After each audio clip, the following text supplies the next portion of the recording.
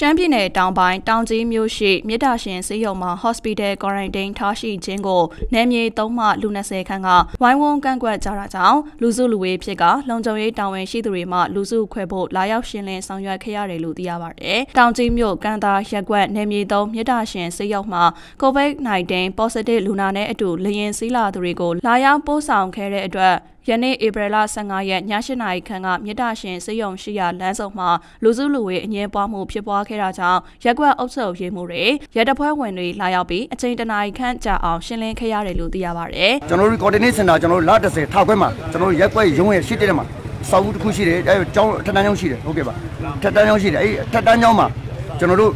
ဒီ coordinate center ကို14ရက်ပြည့်လို့ထောက်တာရှိသလိုနော်နေထိုင်တဲ့လူလဲဆိုလောလောဆယ်တော့ကျွန်တော်တို့ 6ယောက်ရှိပါသေးတယ်ခင်ဗျနော်6ယောက်ရှိပါသေးတယ်ကြားတက်မ9ပေါ့အခုဒီနေ့ညဖြစ်လာတဲ့ကိစ္စဒီကျွန်တော်တို့ဒီဒင်းစီခီးတယ်များလို့ကျွန်တော်သိထားတယ်ဒင်းစီခီးတယ်များလို့သိထားတဲ့အချိန်မှာအဲ့ခီးတယ်များကိုကျွန်တော်တို့ဝင်းဆက်လိုက်ရင်းနဲ့ကျွန်တော်တို့ colony scenario နောက် facility ပြည့်စုံအားလုံးတသူပူပေါင်းဆောင်ရွက်နိုင်အောင်နော်တက်ဆိုင်အဖွဲ့အစည်းနဲ့ကျွန်တော်တို့ရက်ွက်ထမှာဒီကျွန်တော်တို့မြစ်တာချင်းဆွေးနွေးမှာလာနားနေဖို့စောင့်ကြည့်နေထားဖို့ဒါလေးနဲ့ကျွန်တော်ထားဖို့ဆိုအဲ့ဒါကိုကျွန်တော်ရက်ွက်အုပ်ချုပ်မှုက နေမြေမှုတွေချမှန်ပြောင်းကောင်းလားပေါ့နောက်တစ်ခုကနေမြေကတယောက်စောက်နှစ်ယောက်ကနေပေါ့နည်းနည်းအထိုးတောင်လုပ်တဲ့အချိန်မှာ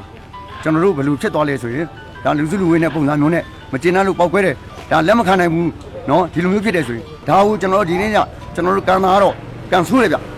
ကျွန်တော်လည်းဒီလောက်စေနာထားပြီးပူပေါင်းဆောင်ရွက်နေတဲ့ဂျားတွေကဒီပြဿနာဖြစ်မြောင်ဖြစ်တယ်ဒါလည်းအပြန်အလှန်လေးစားမှုမရှိဘူးလို့ကျွန်တော်ဒီလိုပဲယုံကြည်တယ်ကျွန်တော်တို့ကတော့နောက်ဆုံးမှာတော့မဟုတ်ဘူး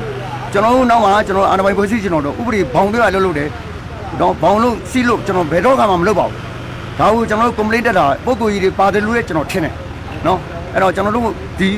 ဒီကိစ္စကိုကျွန်တော်တို့ပြင်းအောင်ဆောင်ရွက်မှာပဲဖြစ်တယ်နော် လက်ရှိကျွန်တော်တို့9ယောက်10ယောက်9ယောက်ပေါ့ဒီနေ့ရောက်လာတယ်ကျွန်တော်သတင်းရကျမကြီးနဲ့အောက်စားဝင်ကြီးဌာနကထုတ်ပြန်ခဲ့တဲ့လူနာအမှတ်26နဲ့လင်းရင်အတူစီးခဲ့တဲ့ခရီးသည်တွေမှာတောင်ကြီးမြို့နယ်မှာ10ဦးရှိပြီးဧပြီလ10ရက်ထဲကတောင်ကြီးမြို့မှာရောက်ရှိနေခြင်းဖြစ်က quarantine ဝင်နေတာဖြစ်ပါတယ်အခုအကကန်တာရက်ကွက်ရှိမြေတာရှင်စေယုံမှာထားရှိနိုင်ဖို့အတွက်ဧပြီလ15ရက်မွန်လယ်ပိုင်း2နာရီခွဲခန့်အချိန်မှာသက်ဆိုင်ရာတာဝန်ရှိသူတွေကျန်းမာရေးဝန်ထမ်းတွေမှဝစ်စုံပြေ PPE ဝစ်စုံတို့နဲ့လာရောက်ပို့ဆောင်မှုအပေါ်ပြောဆိုကြရမှလူစုလူဝေးဖြစ်ခဲ့တာကြောင့်ရတဖွဲ့ဝင်တွေအုပ်ချုပ်ရေးမှုတွေမှလာရောက်ရှင်းလင်းခဲ့ရခြင်းဖြစ်တယ်လို့သိရပါတယ်။